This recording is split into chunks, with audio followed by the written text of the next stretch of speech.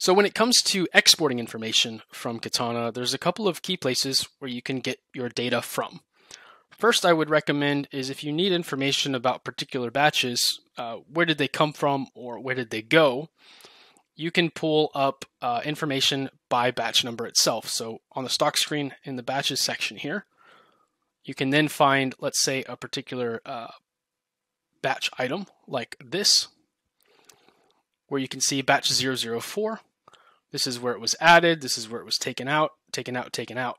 And you can export that data to create a short list of those particular movements as they relate to that item for that batch.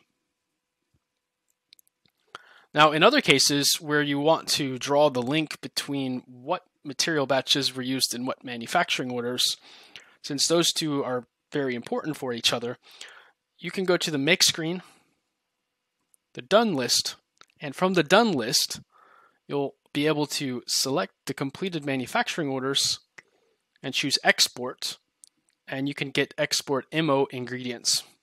And when you export this, it'll create an Excel file or CSV, whichever one you choose. And you could download that here.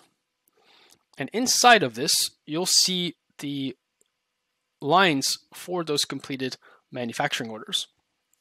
Here, you'll find the product batch number for the correct manufacturing order number, and then also the ingredients that were used in that in that um, manufacturing order here. So this is an ingredient that was used, and also the batch that was used for that will be available here. Ingredient batch number, ingredient batch number, ingredient batch number. And actually, what will happen is if you have uh, something that's, let's say, consuming five different types of ingredients that are all batch trackable, you'll have one line from this export per ingredient.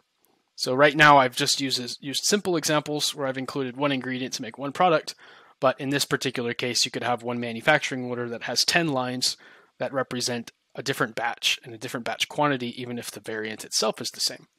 So you can use that, put it into some sort of pivot table to do some analyses as needed. Um, so there's lots of ways to uh, to use this for batch tracking uh, requirements. We're currently working on in the future, at the time of making this video, we'll, we will be working on more efficient ways to pull up reporting that will auto create like a full batch traceability report. For example, what were all of the customers that were affected from the this particular batch through sales?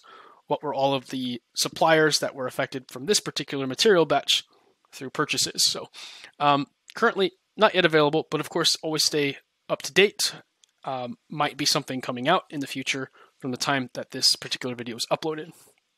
So this is our batch tracking uh, tutorial. I uh, hope you found it helpful and useful, and um, be sure to stay in touch for updates.